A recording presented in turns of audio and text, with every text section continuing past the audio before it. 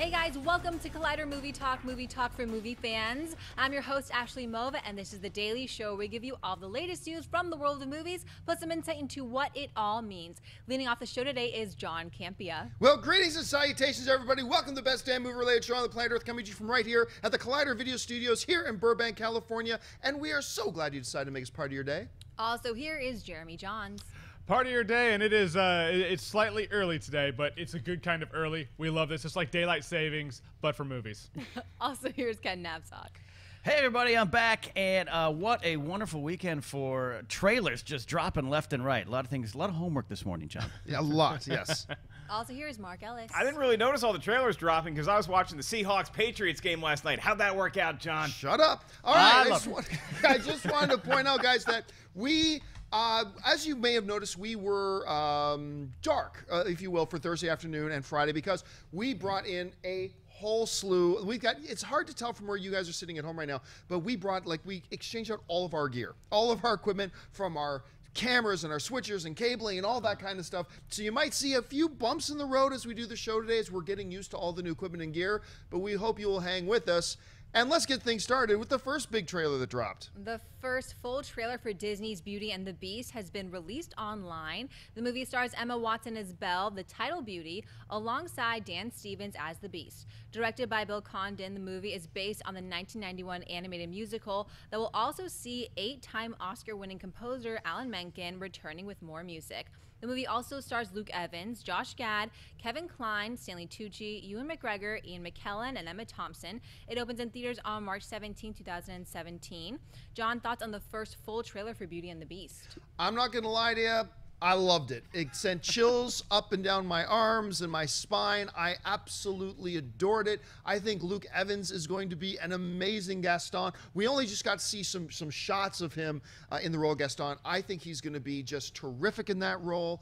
I think Emma Watson is going to be amazing as Belle. I watched it and I was just flushed with all my feelings of watching the animated film at the same time. This is going to be a true remake in live action form.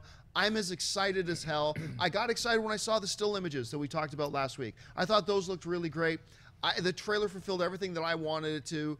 I think this is going to be something really special. What about you, Mark? John, I haven't been this excited about a beast since I went to Arby's last week. This trailer was absolutely everything that I thought it could be because I grew up and I actually really love the animated one. Like I wasn't a big Little Mermaid guy, but once Beauty and the Beast hit in the early 90s, I was like Disney is making some damn fine cinema and what they want to do with these live action adaptations is give us those nostalgic tinges but open it up for a new generation to appreciate. That's exactly what this trailer did. My only complaint in any of this is that the first time I saw the Beast, the first time I saw the talking clock or the spoon or whatever the hell the kitchen appliances are that are his wingmen, they looked a little CGI to me. It looked a little more CGI, and I think a lot of that is because I was so spoiled with the Jungle Book this past April that anything that doesn't look as good as those animals is going to be like, ah, you're not quite there. Other than that, though, I think this is tremendous, and my bold prediction of this movie making $200 million opening weekend is alive and well. Well, well, look, I was excited about it. You were excited about it, but I don't think anybody's enthusiasm, you know, equaled that of Ken Napzok's. Uh, Ken, uh, you were like a kid on Christmas morning. what did you think about this trailer? Look, I'll say this right now. I, I definitely, I don't want to say I'm not in the demographic because when you live in a time, there's no uh, blue and pink in the toy aisles anymore. Everyone can like anything. Um, but, and you crazy person with your $200 million in one weekend. Yeah. Look, it might be because I spent my entire life as a beast, and I can tell you, ain't no girl magically shows up and turns you back into a human, all right? I might not be the one that touches in here. This is going to kill. It's going to crush. Without a doubt, this is going to be a very successful movie. It's going to be one of the most successful box office winners of 2017. But there is something freaky. I don't want to rap report this. There's something freaky with a real human walking around in a talking candlestick with an accent. Like, why are you not slapping this thing away? It's just, it, there's something that's off putting to me about this. I'm not even trying to do this for comedy. I woke up, watched this, like, what's this all about? This is like an acid trip. It's uh, like a worse acid trip than Doctor Strange to me. I know I'm in the minority on this. I absolutely know. No one's going to convince me that this is going to bomb, this is going to succeed, but I was a little freaked It's out. an interesting point you bring up because when it is live action and you see a a real human being talking to a candlestick. It just it, it's like we're almost in the real world now, and that shouldn't happen. But when everything is drawn, you just give it a little bit more of a leeway. Exactly my point. Again, I, I understand what they're doing with these live action remakes. We can do them now. We eh, but it, there's some. It's almost like a weird sketch in a weird way. Like, what if Emma, Emma Watson was here with a clock and it's talking? I I I'm not into it. I'm Also, not into it. I defended you, but you also have no soul. Jeremy. I, I love the fact that you're wearing green today, Grinch. You're gonna be like, all the Who's down in Whoville will all cry boo. Getting to know me well. and I love it to death. Uh, no, I like this trailer. I really did. The problem I run into is not really a problem. The problem the movie is going to face. I smacked your laptop. Apologies. Uh, is that um, the the Jungle Book had wiggle room to give us new stuff. Beauty and the Beast is something that I mean I feel like when watching the trailer I know exactly how it's going to play out because it's going to play out like the animation. The one thing I didn't like in the trailer is when she says "Show me your face" and it's kind of just like one of those "Here's my face." And in the animation, he steps into the light, and like you know, the light goes around him, and she freaks very out. you know? dramatic. I hope that it's just the way the trailer was cut. It's a different scene because I want his reveal to her to be that dramatic. But I really did like it, man. When that music comes on, the dun, dun, dun, dun, dun, took me right back. It's it's the early '90s all over again. I'm looking forward to it. Now let's be honest, that was the job of this trailer. Yeah. It wasn't to show us all the great Right. scenes, all those reveals. This trailer was to introduce that there's a Beauty and the Beast movie Right. coming out, show us some footage for us to gush over, give us little tinges of like what you brought up with Gaston, like, oh, that's the character I love, or that's the character I love. We didn't get a lot of story here, but I loved what this trailer did. You heard it here, internet. Mark Ellis loves Gaston. The other thing that I think was the purpose of this trailer is not just to announce that this movie is coming. Sometimes you get, uh, you know, movies based on pre-existing property. It's like the purpose of this trailer was to let you know this ain't your dad's name of property here. This isn't the same name of property that your grandparents remember. I believe that the purpose of this trailer was to let everybody know this is the Beauty and the Beast that you know and love brought to live action. That was the message they were communicating, I think, with this particular trailer, was to say, yeah, yeah, if some of you are worried we're going to radically change the story and give a brand new interpretation, no, no, no. This is, sorry, Riley, the tale as old as time. Oh. This is the traditional one that you grew up loving, that your kids have watched, that you watched as a kid. This is the movie they were bringing to you. And if that was indeed the purpose of the trailer, they did a pretty damn good job because that's what was communicated. Now, what I am dying to know is what Ashley Mova and Wendy Lee thought about this particular trailer because those two Grinches didn't like the still pictures at all. They had their little hater We corner. didn't like the dress. Give us a Right? break. but but they have not yet watched the trailer. They have saved themselves. So that didn't sound right. They are they are they are waiting to watch the trailer so they can do an actual live reaction. So you can watch for their Beauty and the Beast trailer reaction a little bit later today on Collider Video. Keep your eyes open for that. All right, what's next? All right, Deadline reports that Paramount Pictures is close to getting Bumblebee, the first spin-off to its billion-dollar Transformers franchise, off the ground. The trade reports that the studio finally has a script it's pleased with and will shortly go out to directors. Christina Hodson, the writer on the project, recently turned in a script that will make it possible for Paramount to begin production with the release date currently set for June 8, 2018.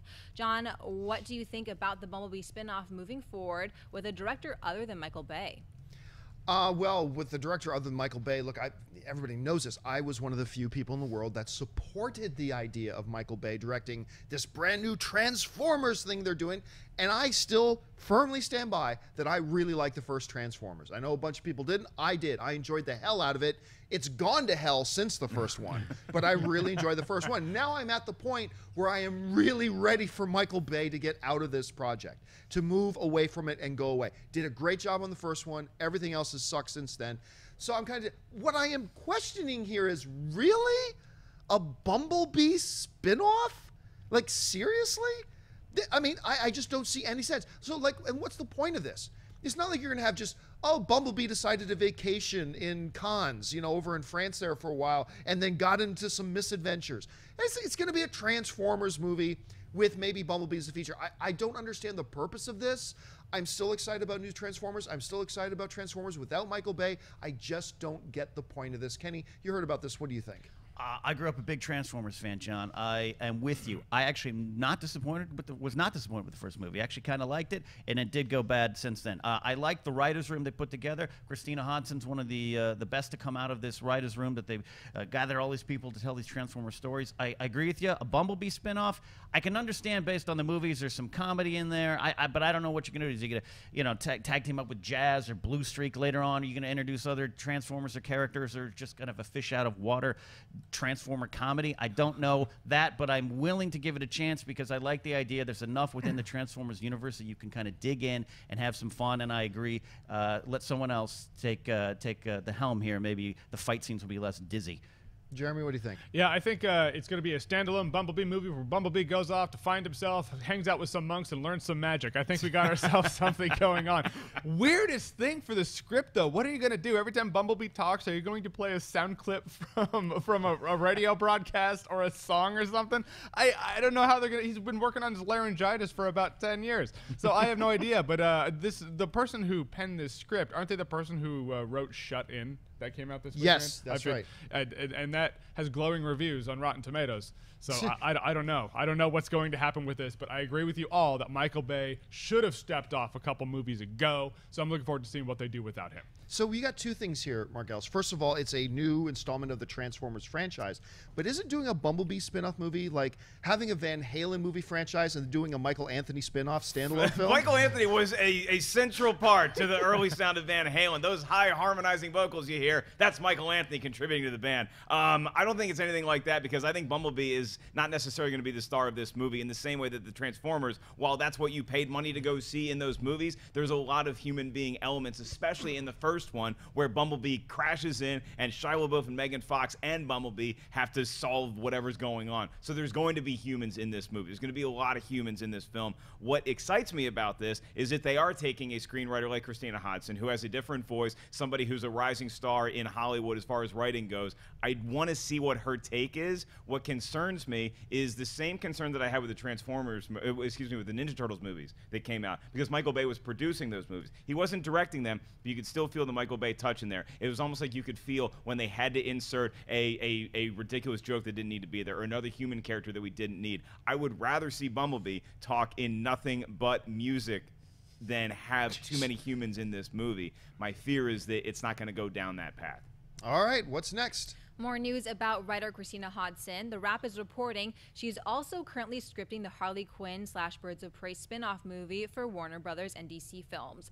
The trade reports that the film is not just a Quinn solo movie, but rather would feature multiple female superheroes and possibly villains in the DC Comics universe. Margot Robbie is attached to reprise her role as Quinn and is also producing the Untitled project. No release date has been set.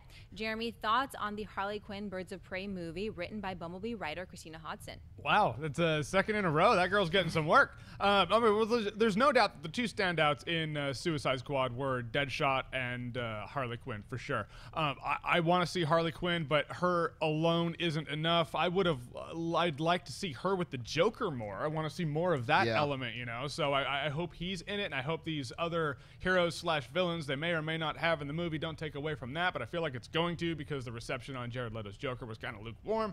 Um, but yeah, a, I, I hope a Birds of Prey ish movie does uh, better than the CW show that came out within the early 2000s. but I am looking forward to it. I really want to see Harley Quinn's standalone movie. Kenny.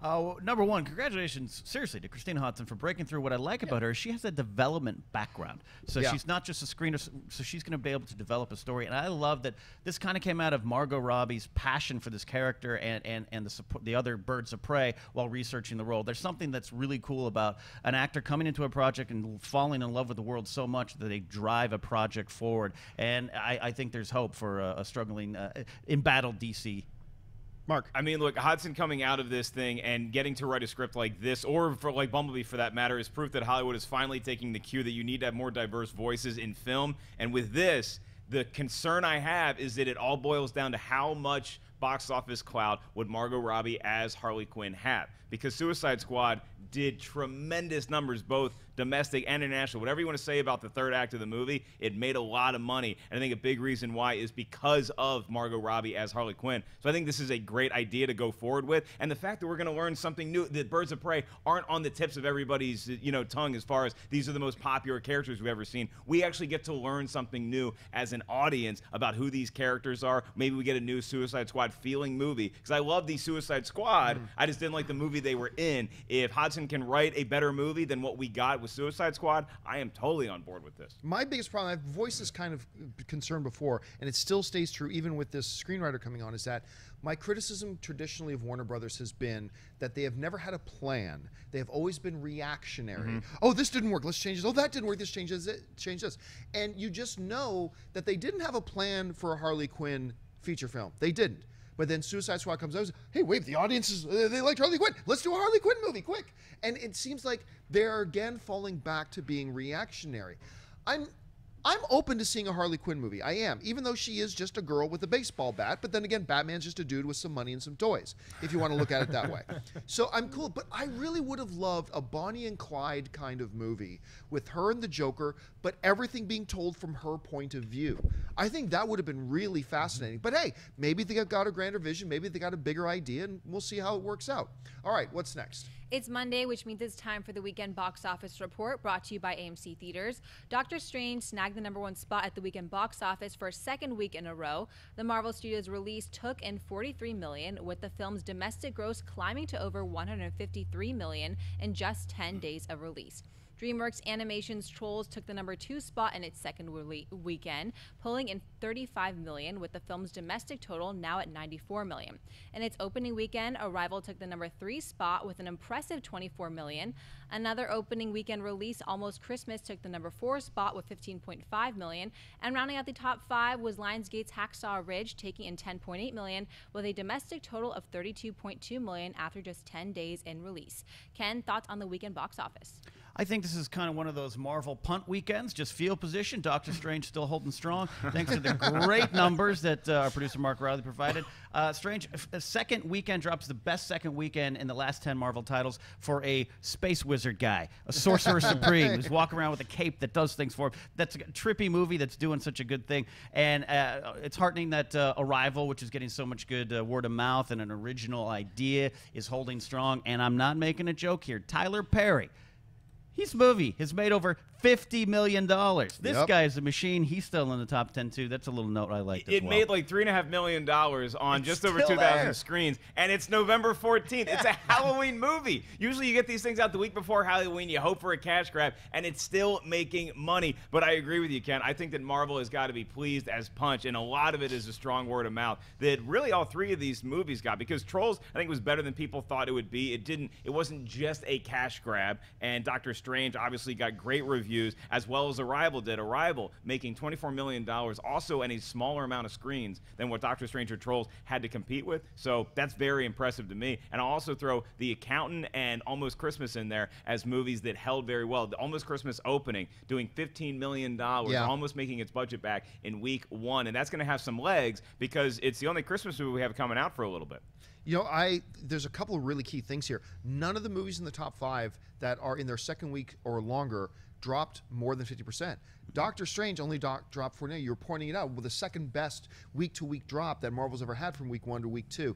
The other thing though is Trolls. Trolls going into its second week, it only dropped 24%. 24% because like you said i think word of mouth got out that hey guys you know what? That trolls movie it actually wasn't that bad.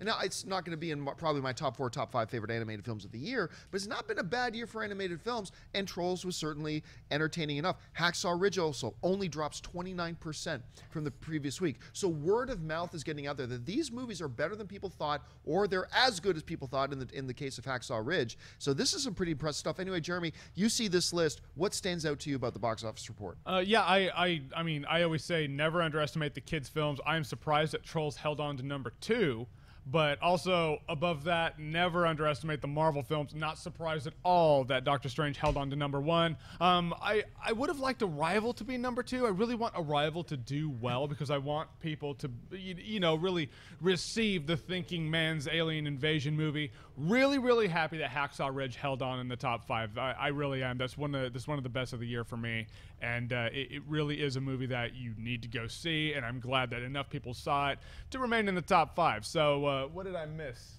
Almost Christmas, I didn't. I didn't see because I also didn't see Trolls. There's like two of these top fives I actually Well, didn't you were see. in the midst of moving from one part of the country to It the other. It doesn't matter, John. If Trolls comes John? out, he's got to Yeah. see it. Yes. do not do not overplay an 1100 mile uproot and move that changes your entire life. John, that is unacceptable. Things need to be seen, words need to be said about You're said watching your little football game last night. Yeah. There was a Trolls movie that they sang ah, for you, Jeremy. That for was you. a great game. Go Hawks. All right, guys, we reached that part of the show now for buy or sell. Here's how this works. In front of her ass, she's got a few other items in the world of movie news. She's going to run them down. Then those of us at the table are simply going to say whether we buy it or it. So, Ashley, what do we got? The first official trailer for Rupert Sanders' Ghost in the Shell officially dropped online yesterday. The movie stars Scarlett Johansson as the Major and follows the elite team of Section 9 in their task to take out dangerous extremists and high tech criminals. The live action adaptation brings to life the classic manga comic and takes inspiration from the animated movies and series that followed the original 1995 anime. The film hits the big screen on March 33rd, 31st, 2017. Mark Barzell, the first trailer for Ghost in the Shell. Ashley, I will buy it because I saw this trailer and I felt like a 10 year old kid who found a Playboy magazine. Do I know exactly what I'm looking at? No, but it's exciting. It's new. It's fresh. I don't really understand everything that is going on on the page, but man, it's a whole new world. And I think that's what Ghost in the Shell is going to be. Rupert Sanders was the star. Rupert Why, excuse me, was the Rupert Sand. One of the Ruperts Sanders. was a star of this movie because it has such a visual flair that it's all its own. It's it's got a science fiction vibe that that is something that you very rarely see in movies now when they're trying to throw cool looking explosions and action at you. This one it was more cerebral. It was it was quieter. There was moments of intensity, but also really developing a story at a at a calculated pace that impressed me for a trailer when they're still trying to sell this Ghost in the Shell property. I know a lot of people are hardcore fans of it. There's a lot of people that are wondering what the hell this thing is, like me. And I gotta say, I was pretty intrigued. What do you think, Kenny? I'm gonna buy. It is a, it's a soft buy because I, I I was confused. Maybe I'm just maybe I'm the problem. I just get, get confused in things I see. Uh, I'm not a, a fan of the manga, but I'm definitely aware of what it is. Definitely aware of the controversy with the casting of this movie, all those things. That's why I know about this movie. So this trailer was doing its job and going, well, that's what you heard. Here's what we're presenting to you, and it was it was fascinating, and it's gonna make me want to go see it, and that's what a trailer's supposed to do, right? So I'll buy it. What do you think? Yeah, I'm gonna buy it too. I'm, I'm with uh, I'm between Ken and uh, Ellis over here. Uh, I, I'm gonna buy it in the sense that I mean it looks big, it looks exciting, it looks really cool. I love I, I love the the fascinating lore that they explained out to me. Uh, what I don't like is every time, and I mean every time, a trailer says in there, and it has the guy who says everything they told you was a lie. now I know that everything that happens in the movie before I see that in the movie is bullshit, and I don't like that. I hate it when a trailer does that. This trailer did that, but the movie does look cool. But don't do that. I'm gonna sell it, uh, and here's and, and here's why. If I didn't know, already know, and love and appreciate Ghost in the Shell, so I, I've taken that aside, and I'm just watching this trailer as a pure blank canvas, much like we did with that Denis Villeneuve. What was the name of that, that film he just dropped the trailer for last week? Uh, that Not sci-fi Fifth film. Element. Yeah, yeah, yeah. Not Fifth Element. Why am I forgetting the name of that? that this, was Valerian, Thank you. Like we did for Valerian, right? No, most people know nothing about it. I went into it with a clean slate, and I went, that trailer isn't that good. It, I don't feel any more desire to see. Visually, it was beautiful, but I didn't feel any need to go see it. So now, if I go into a Ghost in the Shell trailer and I remove the fact that I already know the story and I already love the original and all that kind of stuff, and just watch it as a trailer, I don't see this trailer being much better than the Valerian trailer. I mean, we see some very cool visuals, and you got a stare. I don't know how many trailers I've seen with a guy going, "They what everything they told you was a lie." I mean, I've seen that played out a thousand times. So just as a trailer, the trailer did nothing for me. I have a lot of faith that this movie is going to be really good. Like I have a lot of faith the movie's going to be good. But if I'm just going to be honest and simply talk about the trailer itself, I got to sell the trailer. Anyway, what's next? Warner Brothers has released the final trailer for writer director Ben Affleck's gangster drama Live by Night. Based on the novel of the same name by Dennis Lehane, the film stars Affleck as Joe Coughlin, a World War I vet and son of a Boston police deputy superintendent who operates in the criminal underworld during a Prohibition era Miami. Live by Night opens in limited release on December 28th and expands wide on January 13th. John Byer saw the final trailer for Live by Night. You know, by kind of releasing this in limited on the 28th of December and releasing it wide in January, Warner Brothers is basically saying, we believe we've got an Oscar contender on our hands. And both of these trailers, including this new one, lead me to believe that they're absolutely correct. I love this trailer. That line, that one line, it goes, so basically you're threatening me with guys who are more powerful than you. Yeah? Then why am I talking to you? And then boom. I mean, that was just great. I eat up these types of movies. This trailer got me even more excited for a movie. For me, it's a huge buy. Mark? It's a buy for me as well, John. You know, watching this trailer was like a 17 year old Mark Ellis finding a Playboy magazine and being like, I know exactly what I'm looking at and I want more. Because that's what I want from this movie. I mean, this, it, it, you feel the Oscar tinges left and right. Ben Affleck looks like he's so committed in this role. This is clearly a passion project for him. We got some good action in here, we got enough story story to keep me invested without giving away everything that they're going to be showing us in the movie. This was a very, this might have been the, the best pure trailer of any of the ones we're talking about today. Jeremy. The only thing better than this trailer is Mark's ability to go full circle with those jokes. My God, I'm watching a master at work, my friends. No, I, I, love this trailer. I love that era. I love crime dramas in that era. You know, those untouchable style uh, movies. Uh, and you have Ben Affleck directing it. The only thing that would make me more excited, I've always wanted to see Tarantino do a movie in the same era that mm. this is in. So, I mean, that would that would get me jacked up. Okay, make it his tenth uh, outing film, but y- this is one of the ones to look forward to. Seriously, it is. Kenny. First of all, let's check the mattresses in Mark's apartment right now. It might be a little uneven. So a lot um, of cash and a few bags. I'm gonna buy it because I feel I have to because it checks a lot of like looks right. good and and Affleck's doing his Patriots fan voice. I, I was a fan of HBO's Boardwalk Empire. I actually really liked that show, and I saw a lot of the same elements here that look bigger and more epic because it's on the big screen. It does I, have that Boardwalk Empire, but feel, there's a it? lot of things I was like, yeah, Boardwalk Empire had that. Boardwalk Empire had that. It's a similar time frame, obviously, so uh, I get what they're playing with. Uh, but I'll buy it because it seems like I'm gonna want to see it in the theater and go, yes, that was a good movie. Can I start raining on everybody's parade though? Because we've seen gangster movies recently have great trailers and not live up to what the trailer showed us, like with Gangster Squad. Who oh, knew that heavens. movie was going to be as bad as that was? Even a film like Black Mass, which I thought was good, didn't live up to the trailer's promise, as yeah. well as Public Enemies. I thought was a good movie, did not live up to what the trailer billed it to be. Yeah. oh, so, uh, Public uh, Enemies is one of my favorite books. Bryan Burrough tells a fascinating to- uh, story. Michael Mann did a pretty good Kenny, You're talking to him about Oh, books. that's right. I'm sorry. Are there centerfolds in books? Yeah, yeah. The Bonnie and Clyde, Melvin Purvis. It's a lot of sexy things. Um, but now I lost my train of thought. Uh, but yes, that I kind of had that same right. vibe watching that. Yeah, for me, uh, with, when trailers like this hit, it, it's like you said, it's like a checkbox thing where it's like, I like the era, I like the time, and it's done by a director who so far has not done any wrong. I have no reason to say I don't want to watch this. So I'm looking forward to like that's how I'm like, all right, we press forward with a yes. All right, what's next? The Fantastic Beasts and Where to Find Them franchise was recently revealed to be a series of five films instead of three, and now it looks as though director David Yates is on board for all of them. During a recent interview with Collider, the director revealed he might be interested in directing the entire series if it comes down to it, saying, I'd like to say I want to stay with it for the whole thing. The only thing that makes my knees wobble a little bit is just the sheer volume. Five movies over eight years is a massive undertaking, so I have to be careful that I'm able to give everything. If there's any point in that period where I go, you know what, it might be wise to step away for a bit, I would I would to give someone else a shot. But you do become slightly proprietorial. On Potter, once I'd done one, I enjoyed it so much I felt I had to do another one. Then to finish it, I couldn't let anyone finish it. I had to finish it. I was territorial. With this, especially as I've started it, I sort of, I don't know, I feel committed to it. Mark Byrosell David Yates directing all five movies in the Fantastic Beasts franchise. I would have to sell this, Ashley. Even though I'm a fan of David Yates and his directing style, I, I believe I'm the only one on the desk that's actually seen Fantastic Beasts and Where to Find Them, and I was not that uh, overwhelmed with joy watching it. I didn't think it was a great movie. I, I'm not even sure how much I liked the film. That's it, it just it, it, it disappointed me because I wanted to get swept up in a world of imagination, and it didn't deliver on that for me anyway.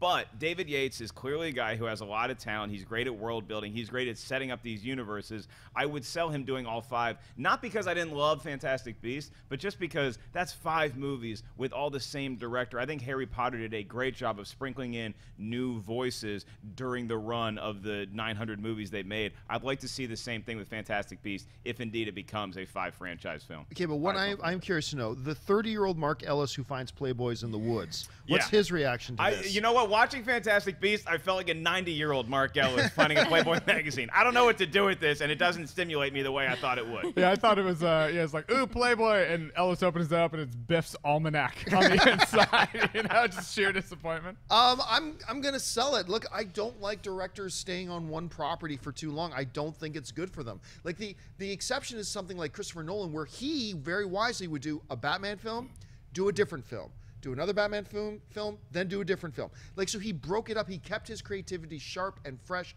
And I just don't like it when directors stay on one property for too long. On that basis alone, I'm gonna sell it. What do you think? I'm completely with you. I've never seen a director stay on for that long and have it work out well. We saw Raimi by the by Spider-Man 3 get burned out. This isn't just the five films here. These are this is also the Harry Potter films that he did on top of that. That's a Yeah. lot of time in that world. Um, I I, I want to give the guy a shoulder massage and say, "Are you sure?" I'm glad he prefaced it with, "Well, if I feel burned out, I will step away." I feel like he is absolutely going to do that. He might prove me wrong. Who knows? But yeah, I'm going to go ahead and sell that. What do you think, Kenny? Sell, sell, sell. His quote himself. He, you're right. He already sounds tired in his Yeah. quote. Like, oh, this seems like a lot. or actually, oh, seems like a lot. Um, uh, and he, uh, he actually had his footprints and, and, and handprints all over the Harry Potter series, doing more of the movies than anyone else. He knows the franchise. He knows Yeah. it is. But this isn't Harry Potter. It's another world. I have no problem doing one, two, maybe three. But it's time to get some other voices in there. Produce it. Executive producer. Stand by. Do the Michael Bay with the Transformers. I don't care. But yeah, I'm with you, John. I, five movies. Give me a different And voice. let's also consider the timing of these comments too. Is that it's what a week or two before the movie actually comes out, so you want to be as excited as possible, and you want to let everybody out there know, hey, I made a great film, and I'm super excited to come back to this universe. So you guys all come out to see the movie opening weekend. I think it's going to do well. I think it's going to make enough to warrant a franchise. I'm just not sure David Yates even wants to be the guy doing all five movies. All right, guys. Well, listen, there was actually a whole lot of news that came out over the weekend, and we don't have time to go into all of it. So we wanted to get you caught up, make sure you know everything that was going on. So here is our news rundown. Writer director of The Witch, Robert Eggers, has revealed that his next film will be a remake of Nosferatu.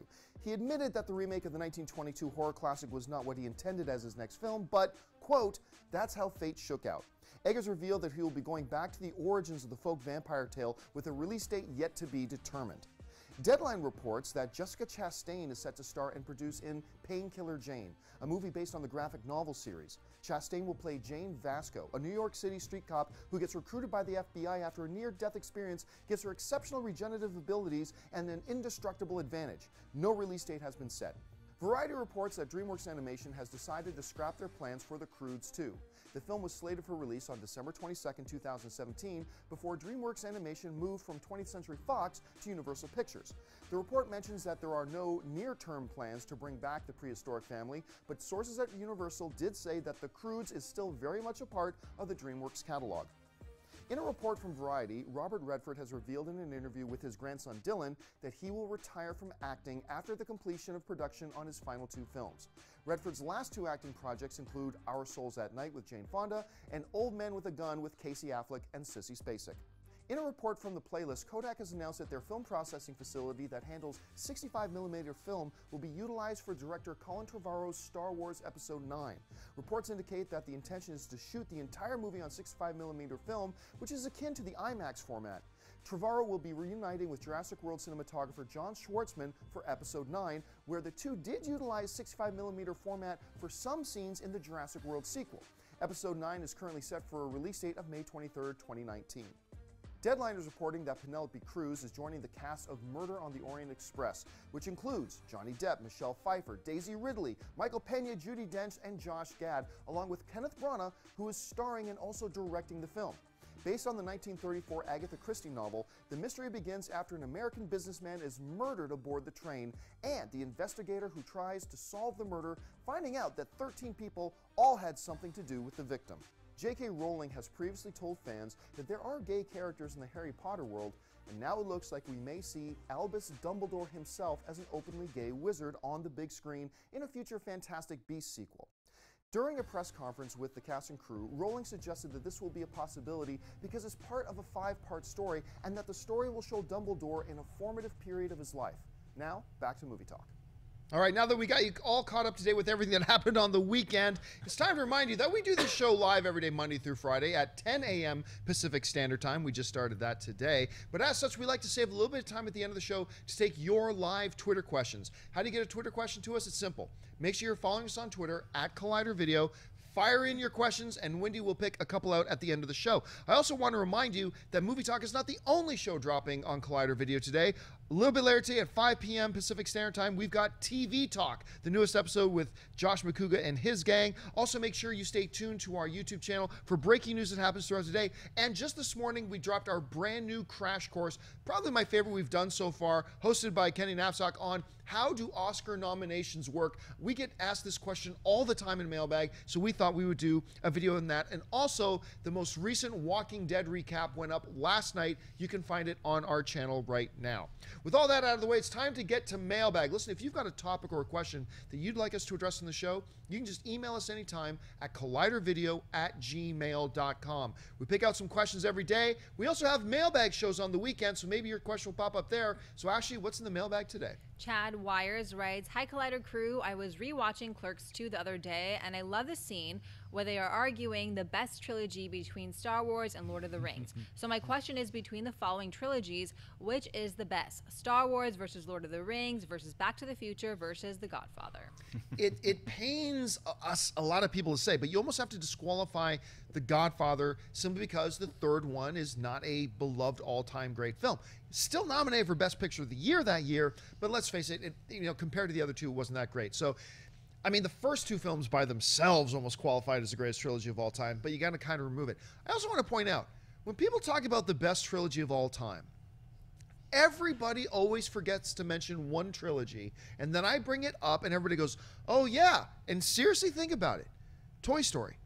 The, the three Toy Story films are like I think all three of them were the highest critically rated films of their respective years that each one of those films came out. And it ended with an absolute masterpiece with Toy Story 3, but obviously, you're talking to me, it's going to be Star Wars. Look, Lord of the Rings is amazing. The Return of the King has the all-time record tied, I believe, with 11 Academy Awards. No other film has won more Academy Awards than uh, Lord of the Rings Return of the King. But when you look at the influence that Star Wars has had as a the original trilogy over filmmaking as a whole in the industry. I believe, and I'm a little bit biased, I admit, but I believe Star Wars is the greatest trilogy of all time. And what do you think? It, it's not even a question. It's it, it's a nice mailbag treat, but it's not even a question. Star Wars, the classic trilogy, is the greatest three films in the history of mankind, in my humble opinion. I actually think Jedi is the best one of the three, but I love them all. And the reason why, one of the reasons why I'll put it ahead of Lord of the Rings or any other trilogy for that matter, is simply because you get such a different tone from movie to movie to movie. Whereas Lord of the Rings, the Fellowship does start out happier, and then it gets a little darker with uh, the two, the two towers, and then it gets even darker with Return of the King. But I think that what Star Wars is able to do is will never be matched in the history or the future of cinema. Two other trilogies of note, though, is the the first three Indiana Jones movies. Oh, I think, absolutely, are yeah. damn near perfect, and the Bourne trilogy is pretty damn good as far as action movies go, as with the first three Die Hards. What do you think? What, uh, Jeremy? What's the best, Uh, or your favorite? it's like this. Uh, when people ask me my favorite uh, movie, uh, I always flip flop between uh, Lord of the Rings, which I, I say is all one movie, and Empire Strikes Back. And so I was talking with my friend about it. Here's how it happened. So we had Star Wars, the Star Wars trilogy. It was the greatest trilogy of all time. We all loved it. And then the prequels came out and let us all down. And Lord of the Rings came in and said, "Hey, kid, we got some candy. Come on over here." and so everyone went over there, and we are like, "Whoa, that is really good." And those uh, prequels kept coming out. We're like, "No, we got Lord of the Rings. We're fine." Then Lord of the Rings took the uh, they took the spotlight away from Star Wars. Then Star Wars comes back in a very big way. Now Star Wars is in the spectrum again. If I have to choose, my answer is yeah. Kenny. If I don't choose Star Wars, then I wasted being a virgin for so long. All right. Um, it's very hard to not say that. Uh, and also, great question, Chad. But throwing in Godfather's like saying, "Do you want steak, mashed potatoes, and cake, or this nice fish and asparagus?" Godfather is kind of its own thing when you're talking about fandoms and trilogies. I know it's we're talking about movies, but I, you have to factor in the fandoms and the lore and the sagas. Um, I'm going stars, but I will say this: uh, and Back to the Future is a good choice too. Uh, It's a uh, great first I am the- one of the people that uh, once a year I'll put on all the extended editions of the original, the, the, the first three Lord of the Rings movies, and I'll watch them till my eyeballs come out. All endings, I don't care, all 42 endings of Return of the Kings. I love those movies, and they're very, very, very high on the list. But Star Wars is my life. So is there no perfect trilogy though? Because even Star Wars, like, like obviously they went back into the cookie jar with the prequels, and then with the Force Awakens and all these new great movies hopefully coming out. Indiana Jones couldn't keep its perfect trilogy together because they went back with Kingdom of the Crystal Skull. You have Lord of the Rings went back with the Hobbit prequels. You know, you have all these movies. There, there's no perfect trilogy because the reason why there's no more Back to the Future movies is look, I, I, I appreciate Back to the Future two and three, but we didn't need any more Back to the Future movies after that. They No, it, it really. had kind of run its course. I, will, I would argue, though, um, i- if you compartmentalize the trilogies themselves, Lord of the Rings, just them, not Hobbit, but Lord of the Right. Rings as a trilogy, might be the most perfect. As you can pick out the other ones, like that's the that's the eyesore, eh, that's the one that's not as good, that's the one that's not as good. Lord of the Rings as a trilogy themselves, I totally agree with you if Star Wars the classic trilogy didn't exist. and the, the Ewoks though. The Ewoks are Don't great. What get is me wrong going with on you? the Ewoks. The Ewoks They're adorable. awesome. They're furry. They're they're they're monsters. They're they, they're reekers love of you. mayhem. They will hunt you. They will trap you. They will burn you alive open fire. They will eat your flesh and use your severed head as an instrument in their victory You know what I just realized? They are awesome. You know what I realized they are? The Ewoks are like the Tribbles of the Star Wars world. You know, there's like the great Klingons. Their nemesis is the Tribbles in Star Trek. Star Wars is the Ewoks. Are tribbles from Lord of the Rings? Yes. I consider tribbles Bantha Poodoo in the Star Wars galaxy. I, I, Wendy, what about you? What would you say is your favorite trilogy of all time? I'm a little time? afraid for Jeremy over there. He's gonna get jumped or something by you guys. oh, I'm gonna get shipped hard. Uh, for me, I'm gonna go with you. Stay in your seat, Mark Ellis. I'm gonna go with Lord of the Rings. Just slightly edges out Star Wars, just slightly. I know what you're saying, Wendy. What about you, I get it. Ashley? I'm stuck between Star Wars and The Godfather, and I think that they're so different in a sense that they Oh, both can win. absolutely.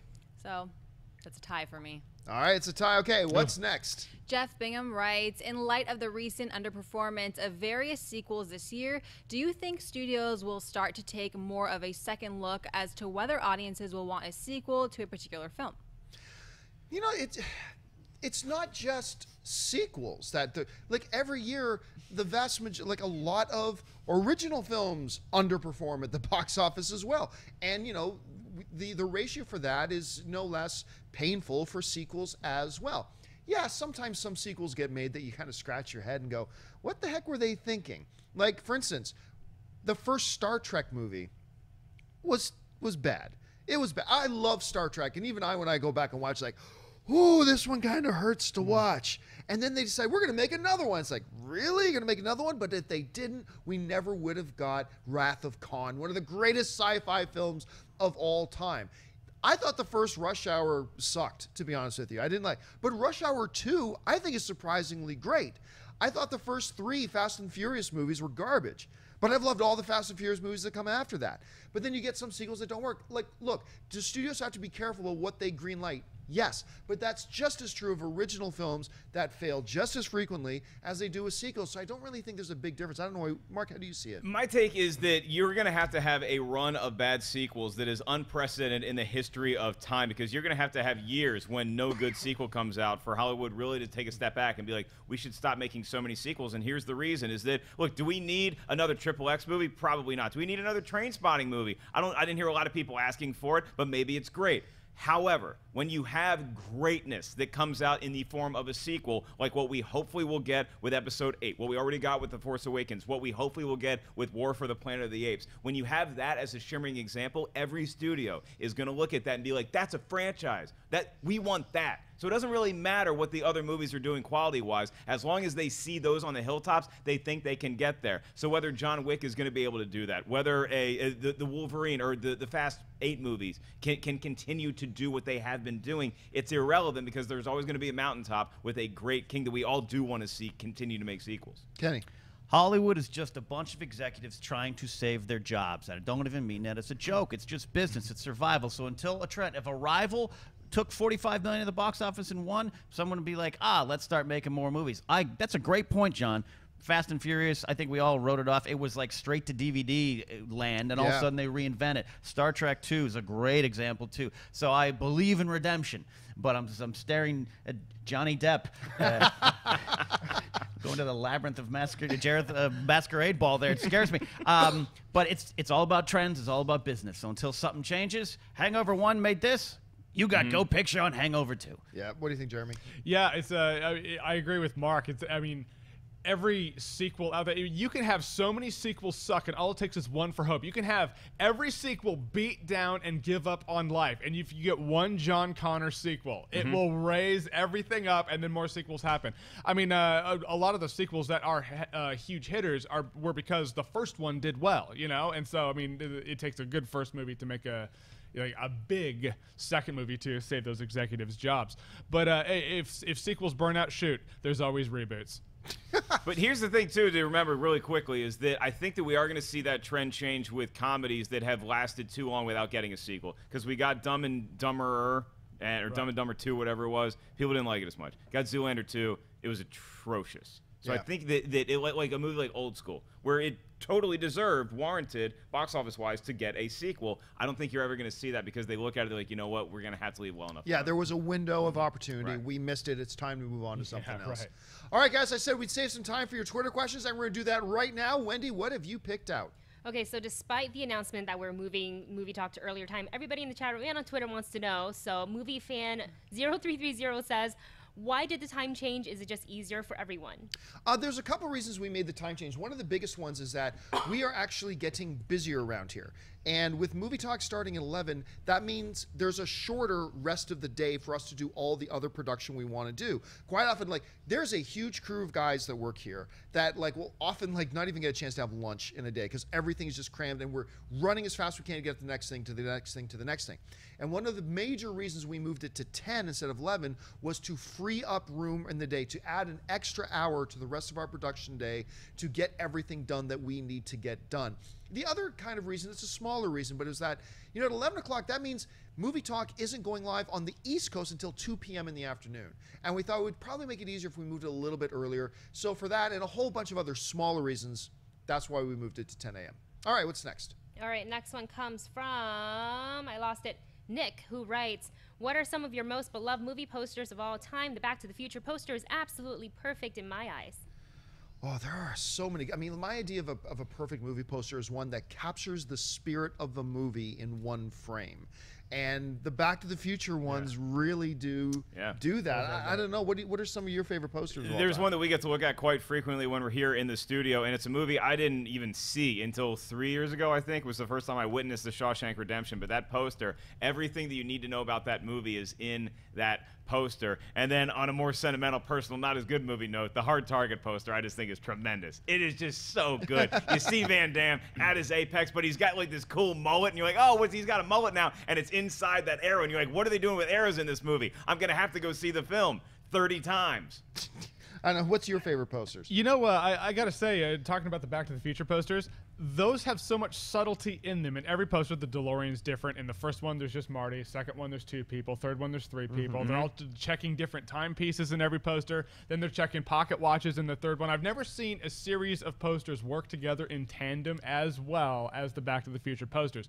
But I really love the teaser poster for V for Vendetta. It was pulled when they pulled it from the 5th of November, and then it went to March. But it's just light coming from him and his back, and his back is turned, and it says "Remember, remember the 5th of November." I love that. I, I when I worked at the movie theater, I stole it. It's fine. I have it. What about you, Kenny? If it's got Katherine Heigl back to back with some guy doing this, I love it. I love it. Ah, no, kidding. You know, uh, my old office, which was outside the industry, I had some fun posters hanging. I had the Out of Sight poster. Jennifer Oh, yeah, Lopez, was George really Clooney one. was an old style 60s classic. I like some of the more recent Bond posters. Does a great job of making me look like I look like that when I wear a suit. I don't. Um, but one that's about to go up my office here, John. It's one of my all time favorite movie posters. It has a little kid on a desert planet. And his shadow is that of Lord Darth Vader. Yeah. Yeah. The it's a Phantom great Menace teaser poster. poster is one of the best things in Star Wars. It's going to be hanging in my office soon. I still have it. That's a, it's one of my favorite posters, one of my favorite trailers of all time. And the chat room, it's not just here to humble me, it's also here to remind us sometimes the movies we forgot. Jaws is one of the Oh, all-time so great movie posters. Thank you to the denizens of people who actually said Jaws. It's the right answer. And E.T. Like that was a classic Yeah, one as well. yeah. And anything by Drew Struzan. I mean, it's is going to be ranked up there too. Not just because it's a good movie, but the Empire Strikes Back poster, because it was the first one you have like Han and Leia doing a dip. You know, it's like it shows the romance with them and Vader's all ominously looking over them. It's just those, there's something about those old posters. It's like they knew what they had to put on there and they knew it was timeless and they were works of art, is what they were. I swear. Also, anything with a guy with sunglasses or a kid with sunglasses and he's dipping them, like hey, something crazy is about to happen in this movie. 90s, baby. All right, let's take two more. All right, Chris Hartwell writes Now that you've seen Doctor Strange, which MCU character are you most excited to see him interact with? Oh gosh, That's a good to question. see Strange uh, interact with. Well, spoilers: Doctor Strange doesn't die in this movie, uh, so there will be sequels. But John! Um, I, I'll be honest. I, I think I am really curious to see him interact with Odin. I would love to see him interact with Odin. So that that would be mine. I, I was thinking Loki, just because of the trickery that Loki can do and the trickery that and magic that both of these guys can do. Right. I feel like you'll see a fight that is that of, well, Portal Combat, which is pretty much what Portal they did at the, at the end of Thor 2. But uh, I, you, I think those two can blow our minds. Kenny. Arrogant rich man gets humbled, becomes a spiritual kind of warrior. I want to see him sit down with Tony Stark and talk about his sins. I want Ah. I want them to get together and have kind of like this deep uh, my dinner with Andre conversation. It's never going to happen, but that'd be interesting. See, I was going to take Tony Stark, and since you took it, now I have to check to my backup, which is I want to see Doctor Strange interact with Hawkeye because I think it would be like an office space, the meetings with the Bobs. Doctor Strange sits down, he's got Hawkeye across him, he's like, now what exactly would you say it is you do here? I think it'd be perfect. That's how you get paid, kids. All right, last question of the day. The last one comes from John Lee, who writes With the new start time for Collider Movie Talk, is there going to be a different start time for all the other shows? Um, well, we've already made one little shift in the schedule. For instance, Heroes, as we announced earlier, Heroes has now moved back to its original air date on Tuesdays. Nightmares has moved to Wednesdays. Keep your eyes open for all the further announcements out of time. But as for everything else, is pretty much staying in place. But we will let you guys know as we make other programming changes. All right, guys, that'll do it for us for this installment of Movie Talk. Again, the first one we've done at 10, the first one with all the new studio setup and gear. Thank you so much for your patience and hanging in there with us today. We really appreciate it. I want to thank the guys sitting at the table with me. First of all, over there, Mr. Ken Napzok. Ken, where can people find you online? You online? can find me at Cat Napzok John when my alarm went off a half hour earlier this morning. I said, "Curse you, Campea! It's a good business decision." See you at 10 a.m. Mr. Jeremy Jahns. Jeremy, have you adjusted yourself to LA life yet? No, well, I, I adjusted myself to LA life just in time for you to mess up my sleeping schedule, John. it's uh, when I came here, I was like, I'm a night owl, and John was like, That's great. We'll give you one week to climatize, and we're going back one hour. Uh, but uh, really, uh, my dogs have adjusted surprisingly well. I'm getting there. So where can people find you online? Oh, they can find me on YouTube, Instagram, and Twitter at Jeremy Jahns. We talk me some movies, and by we, I mean I and we. Over here, Mr. Mark Ellis. Mark, where can people find you and your stash of Playboys? Oh, well, you can find those under my mattress currently or in the closet. When you have a girlfriend that lives with you, you got to find tricky places to hide them. That oven, don't turn it on until I have a say so. Make sure you guys follow me on Twitter at Mark Ellis Live. And this weekend, I will be doing stand up at the world famous comedy store in La Jolla, just north of San Diego. So, all you San Diegans, I know you love your day drinking. Come out and laugh at night. Get your tickets at markellislive.com. And of course, Ashley Mova. Ashley, where can people find you? Twitter, Instagram, Snapchat, Ashley Mova. Happy Monday, guys. And Wendy Lee. You can find me on YouTube at the Movie Couple channel and on Twitter, Instagram, Snapchat at Wendy Lee Zaney. And you guys can simply follow me on Facebook, Instagram, and Twitter at John Campea. That'll do it for us, guys. Thanks so much for joining us. And until next time, bye bye. Hey guys, if you like this video, click the thumbs up button. Also, make sure you subscribe to our YouTube channel. It'll help you stay up to date with everything we've got going on here at Collider.